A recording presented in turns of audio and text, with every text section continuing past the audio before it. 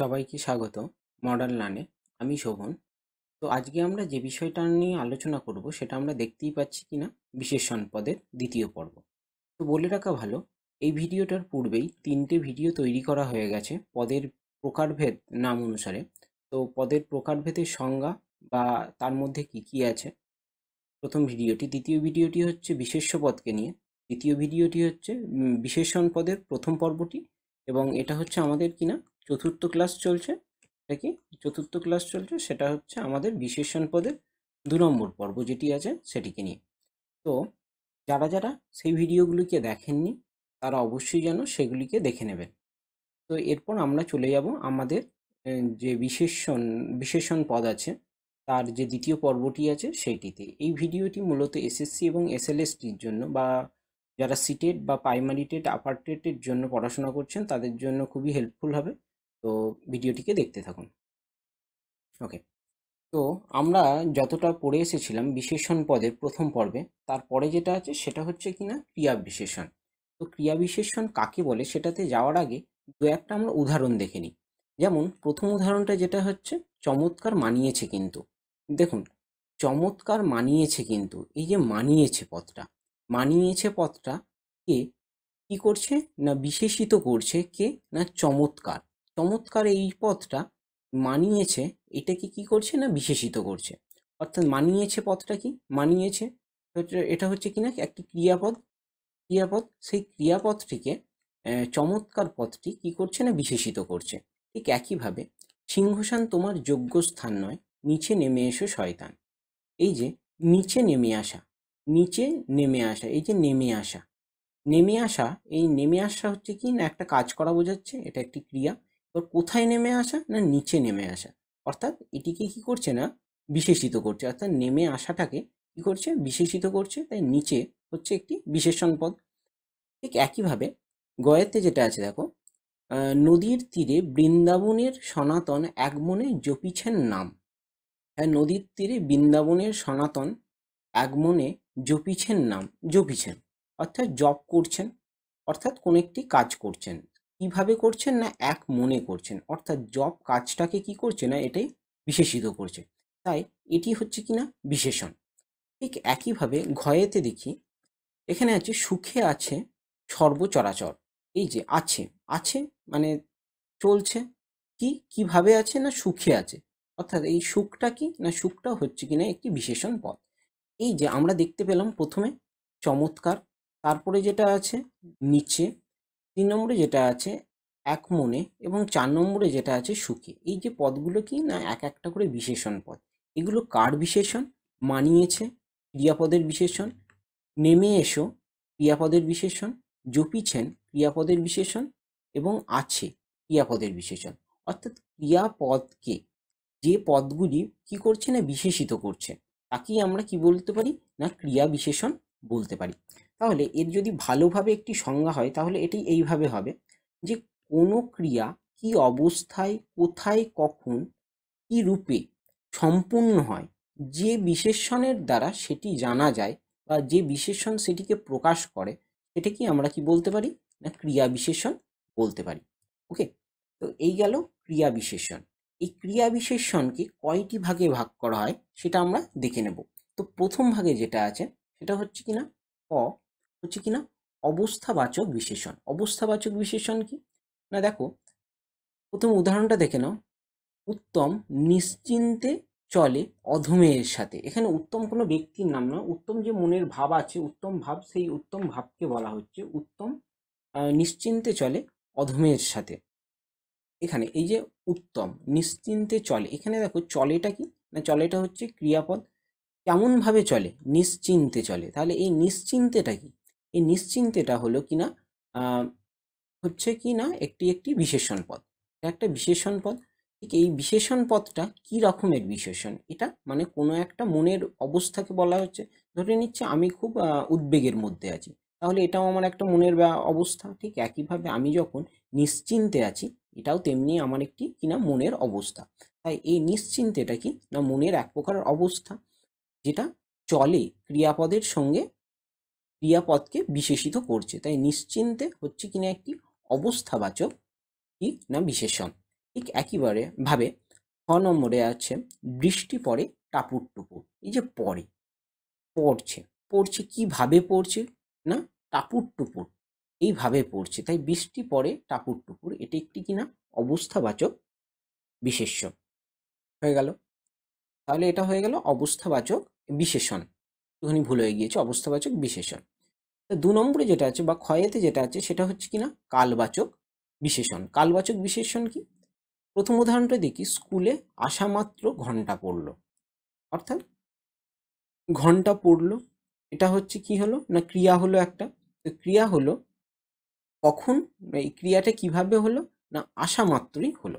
তাহলে এই মানে ক্রিয়াটাকে কীভাবে মানে ক্রিয়াটিকে আরও সুন্দর করছে বা আরও বিশেষিত করছে কি না আসা মাত্র।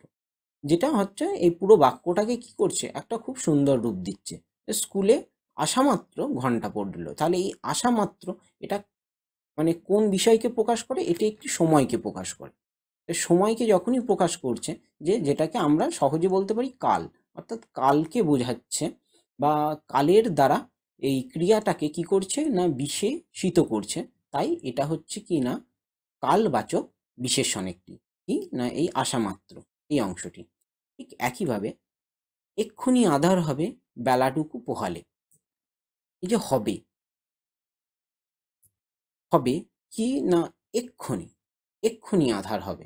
এই যে হবে বা আধার হবে, এটাকে পুরোটাকেই যদি ধরি, আধার হবে, তখন এক্ষুনি, এই এক্ষুনি পথটার মধ্যে দিয়ে কি হচ্ছে? এই আধার হবে, যে ক্রিয়াটি হচ্ছে, সেই ক্রিয়াটিকে আরও বিশেষিত করছে। তাই এই এক্ষুনিটা হচ্ছে কিনা একটি কালবাচক বিশেষণ ওকে তো আমরা বুঝতে পেরেছি যে কালবাচক বিশেষণ কি? তাহলে কালবাচক বিশেষণ হলো এমন একটি পদ যা ক্রিয়ার কালকে প্রকাশ করবে বা ক্রিয়ার কালকে বিশেষিত করবে। তাহলে সেটাকে আমরা বলতে পারি কিনা? কালবাচক বিশেষণ। তাহলে একটা হয়ে গেল, অবস্থাবাচক বিশেষণ, দুটো হয়ে গেল, কালবাচক বিশেষণ। তিন নম্বরে কি আছে দেখে নাও। তিন নম্বরে যেটা হচ্ছে, সেটা হচ্ছে স্থানবাচক বিশেষণ। যেমন হেথাই হেথাই পাগল প্রায় ঘুরিয়া ঘুরিয়া মাতিয়া বেড়ায়। এখানে দেখো হেথাই হেথাই পাগল প্রায় ঘুরিয়া ঘুরিয়া মাতিয়া বেড়ায়। এই যে ঘুরিয়া ঘুরিয়া মাতিয়া বেড়ায়, এই যে মানে কোনো কাজ করা এটাকে বোঝাচ্ছে ঠিক একই অর্থাৎ ক্রিয়াকে বোঝাচ্ছে এবং হেথাই হেথাই, এই যে হেথাই হেথাই এই পথটি এই পথটি কি বোঝাচ্ছে? যে স্থানকে, একটা নির্দিষ্ট স্থানকে বা বিভিন্ন, ভিন্ন ভিন্ন স্থানকে বোঝাচ্ছে। তাই এটা এই যে বিশেষণ এই যে বিশেষণ, সেগুলিকে কি হচ্ছে না ক্রিয়ার এটাকে কি বলছে? এটাকে হচ্ছে স্থানবাচক বিশেষণ বলা হচ্ছে। তাহলে ক্রিয়ার এটি স্থানবাচক বিশেষণ। ঠিক একইভাবে প্রথমটা আমি মানে পূর্বেই বলেছি, সিংহাসন তোমার যোগ্য স্থান নয়, নিচে নেমে এসো শয়তান। এই যে নিচে নেমে আসা, এটা হচ্ছে কি না? নেমে আসা হচ্ছে কি? না ক্রিয়াপদ কোথায় নেমে আসা? নিচে নেমে আসা। তাহলে নিচে এটা কি করছে? একটা স্থানকে বোঝাচ্ছে যে তুমি নিচে নেমে আসো, ওপর থেকে তুমি নিচে নেমে আসো। তাহলে এটা একটা স্থানকে বোঝাচ্ছে? তাহলে এটাকে বলা হচ্ছে কি না ক্রিয়ার স্থানবাচক বিশেষণ। অর্থাৎ যে পদের দ্বারা ক্রিয়ার কোনো অবস্থানকে বিশেষিত করে, সেইটি কি বলা হচ্ছে না ক্রিয়ার স্থানবাচক বিশেষণ। ওকে? ক্রিয়ার স্থানবাচক বিশেষণ। তাহলে ক্রিয়াকে আমরা ক্রিয়া বিশেষণকে কয় ভাগে ভাগ করতে পারি? তিন ভাগে ভাগ করতে পারি। ওকে? নেক্সট যেটা হচ্ছে এরপর হচ্ছে কিনা ক্রিয়া বিশেষণটা হলো, এরপর হচ্ছে বিশেষণের বিশেষণ। এটা আগেও একবার বলেছি, এখন আরও একবার বলব বলেছিলাম যে আর একবার ভালোভাবে বলা হবে, এটা এবার দেখে নিই। তো কয়েতে যেটা আছে, সেটা হচ্ছে তার আর তুলতুলে নরম বালিশের ব্যবস্থা করো। অর্থাৎ বিশেষণের বিশেষণ, অর্থাৎ সাদা বিছানা। বিছানাটা কেমন প্রথমত? সাদা। এটা হচ্ছে কি? না, একটা কি? না, এটা হলো কি? বিশেষণ। ঠিক এটা হলো একটা বিশেষণ। কিন্তু সাদাটা কেমন সাদা? এটা হচ্ছে কি না? ধপধপে সাদা। এ হলো আর এক বিশেষণ। কিন্তু দুটো কি তো আর বিশেষণ বলা যায় না? তাই এটার আর একটা স্পেসিফাই নাম করা হয়েছে কিনা বিশেষণের বিশেষণ। অর্থাৎ অর্থাৎ এই যে এটা বিশেষণ, এই বিশেষণকে আবার যে বিশেষিত করছে, তাকেই বলা হচ্ছে কিনা? বিশেষণের বিশেষণ।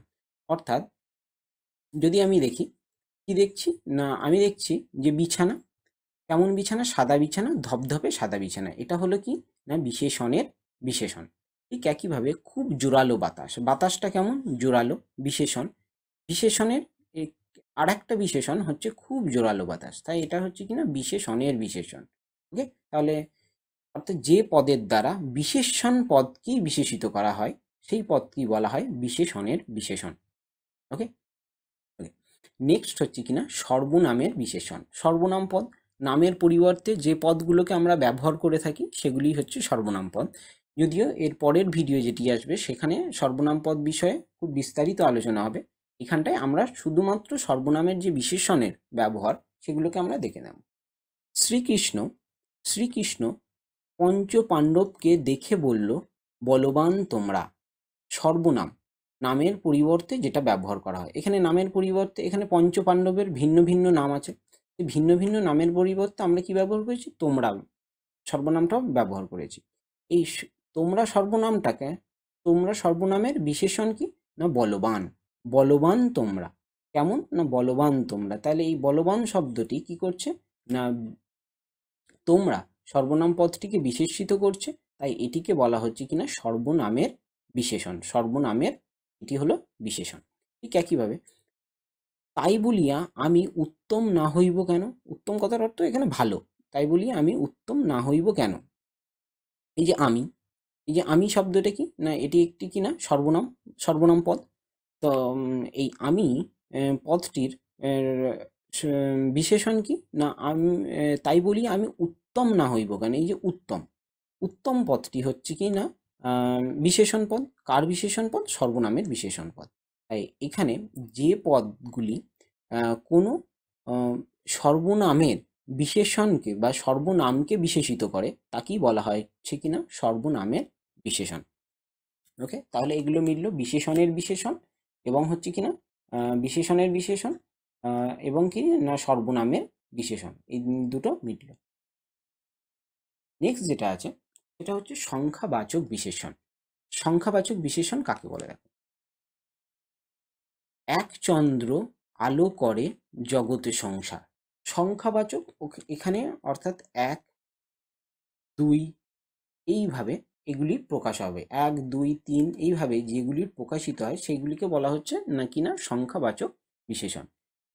এক চন্দ্র আলো করে জগতে সন্ধ্যা এই যে চন্দ্র, এই চন্দ্র এই পথটিকে বিশেষিত করছে কি? না, এক। এক চন্দ্র আলো করে জগতে সংসার এই এক শব্দটিকে, না, এটি একটি সংখ্যাবাচক বিশেষণ। ঠিক একইভাবে আজই হইতে শতবর্ষ পরে আজই হইতে শতবর্ষ পরে, এই যে আজই আজই শতবর্ষ পরে আজই হইতে শতবর্ষ পরে, এগুলি কি? না, সংখ্যাবাচক বিশেষণ। ঠিক একইভাবে একখানি ছোট্ট ক্ষেত ছিল। কেমন ক্ষেত ছিল? একখানি ক্ষেত ছিল। ক্ষেতটা কেমন? ছোট্ট, সেটা তো আছে কিন্তু এখানে সংখ্যার মানে যদি বলা হয় এখানে যদি দাগ দেওয়া থাকে, তো এটি কোন ধরনের বিশেষণ? এটি হবে কিনা একটি সংখ্যাবাচক বিশেষণ। অর্থাৎ যে পদের দ্বারা কোনো সংখ্যার মাধ্যমে বিশেষিত করা হয়, যে পদকে কোনো সংখ্যার মাধ্যমে, সেই সংখ্যাটা কীরকম হবে? এক, দুই, তিন, এই ধরনের সংখ্যার মাধ্যমে করা হয় না বিশেষিত করা হয় তাকে বলা হয় কিনা সংখ্যাবাচক বিশেষণ ওকে তো নেক্সট যেটা আছে এটা হচ্ছে কিনা পূরণবাচক বিশেষণ। এটা সংখ্যাবাচকের মতনই কিন্তু একটু আলাদা। সংখ্যাবাচকে কি বলা হয়? সংখ্যাবাচকে ক্রমকে বোঝানো হয়। এক, না, ক্রম নয়, সংখ্যাবাচকে সংখ্যাকে বোঝানো হয়। এক, দুই, তিন, চার, এইভাবে সংখ্যাকে বোঝানো হয়। কিন্তু এখানে কি হয়? পূরণবাচকে ক্রমকে বোঝানো হয়। ক্রম মানে হচ্ছে স্থান মানে মানে সংখ্যামূলক স্থান। যেমন, দেখো এক নম্বরে যেটা আছে, সতীশ আমার দ্বিতীয় পুত্র। এই যে সতীশ আমার কোন ধরনের পুত্র না দ্বিতীয় পুত্র? এই যে পুত্র পুত্র যে পদটি আছে, সেই পদটিকে বিশেষিত করছে কে? এই দ্বিতীয় পদটি দ্বিতীয় এই যে শব্দটি আছে, সেই শব্দটি। এই যে দ্বিতীয়টি কি তাহলে? সেটি হচ্ছে কিনা বিশেষণ। এবং এটি কোন ধরনের বিশেষণ? এটা হচ্ছে কিনা পূরণবাচক বিশেষণ। অর্থাৎ এখানে কি না দ্বিতীয় হচ্ছে স্থানকে, একটা মানে তার জায়গাকে প্রকাশ করছে। তাই এটি হচ্ছে দ্বিতীয় হচ্ছে কিনা পূরণবাচক বিশেষণ। ঠিক দু নম্বরে আছে, গ্রন্থটির প্রথম সংস্করণে ত্রুটি ছিল। তাহলে এই যে প্রথম প্রথম এই পদটি কি না এটি একটি কিনা বিশেষণ পদ কেমন সংস্করণ? প্রথম সংস্করণ। তাই সংস্করণের একটা অবস্থানকে এখানে চিহ্নিত করছে। তাই এটি হচ্ছে কিনা পূরণবাচক বিশেষণ। তিন নম্বরে যেটা আছে, এবারে পরীক্ষায় আমি প্রথম স্থান অধিকার করেছি। তো পরীক্ষায় আমি কোন স্থান অধিকার করেছি? স্থানটা কোন ধরনের? না, এটি প্রথম স্থান। পরীক্ষায় আমি প্রথম স্থান অধিকার করেছি। তো এটা হচ্ছে কি ধরনের বিশেষণ? না, এটা হচ্ছে আমাদের পূরণবাচক বিশেষণ। ঠিক আছে? অর্থাৎ সংখ্যাবাচক বিশেষণে সংখ্যাকে নির্দেশ করবে এক, দুই, তিন, চার এবং পূরণবাচক বিশেষণে কি করবে? না, প্রথম, দ্বিতীয়, তৃতীয়, চতুর্থ এই ধরনের যে অবস্থানগুলো আছে সেগুলিকে নির্দেশ করবে। ওকে? এত পর্যন্ত গেল। তো নেক্সটে যেটা আছে, সেটা হচ্ছে সংস্কৃত ও বাংলায় সংখ্যাবাচক ও পূরণবাচক কিছু শব্দ আছে। যেমন যদি আমরা এরমভাবে দেখি, এক। এক, এটাকে, এটি আছে, কিন্তু এটাকে আমরা যখন পূরণবাচক শব্দ হিসেবে ব্যবহার করি, তখন আমরা এটাকে কি বলি? প্রথম। প্রথম, এভাবে ব্যবহার করি। ঠিক একইভাবে দ্বিতীয় বা দ্বি, দ্বিতীয় হচ্ছে, তখন কি হয়ে যায়? পূরণবাচক হয়ে যায়। দ্বি যদি বলি দ্বি এই দ্বি হচ্ছে কিনা আহ, এটাকে যখন আমরা পূরণবাচক হিসাবে ব্যবহার করব সেটা হয়ে যাবে কি না দ্বিতীয়। দ্বিতীয়। এইভাবে যে সংস্কৃত এবং বাংলাতে ঠিকভাবে বাংলাতে এক এটা দ্বিতীয় দ্বি তো হয় না বাংলাতে হয়ে যায় কি? দুই। তিন। ঠিক আছে? এইভাবে যেটা সংস্কৃততে যেটা আমরা ব্যবহার করে থাকি দ্বিতীয় তৃতীয় অধ্যায় চতুর্থ অধ্যায় প্রথম অধ্যায় এগুলি কি না, এগুলি পূরণবাচক শব্দ। ঠিক সংস্কৃত হচ্ছে দ্বি ত্রি, এইভাবে যে শব্দগুলো আছে, চতু। চতু, এগুলো কি না সংখ্যাবাচক শব্দ এগুলো? এটা সংখ্যাবাচক শব্দ। সংখ্যা, আর এই প্রথম, দ্বিতীয় তৃতীয় এগুলি কি না পূরণবাচক শব্দ সংস্কৃতে। ঠিক একইভাবে বাংলার যে সংখ্যাবাচক শব্দ আছে, দুই, তিন চার, এক তো আছে একটা এই এক শব্দটি বা এক পদটি সংস্কৃত এবং বাংলাতে একই রূপে ব্যবহৃত হয় আর কি। তাহলে এইগুলি হচ্ছে সংস্কৃত ও বাংলার কিছু সংখ্যাবাচক এবং পূরণবাচক শব্দ। তো এই হলো আমাদের সম্পূর্ণ ভিডিওটি মানে আমাদের বিশেষণ পদ এখানেই শেষ হলো। তো যারা যারা পূর্ববর্তী ভিডিওগুলোকে দেখেননি, তাদেরকে আবারও বলছি, তারা দেখে নেবেন এবং এই ভিডিওটি সম্পূর্ণভাবে দেখে নেবেন। তো সবাইকে ধন্যবাদ। চ্যানেলটিকে অবশ্যই সাবস্ক্রাইব করে নেবেন এবং অবশ্যই লাইক করে দেবেন যাতে আমরা আরও বেশি ভিডিও তৈরি করতে পারি। তো আজকের জন্য এখানেই। সবাইকে শুভ সকাল, ভালো থাকবেন।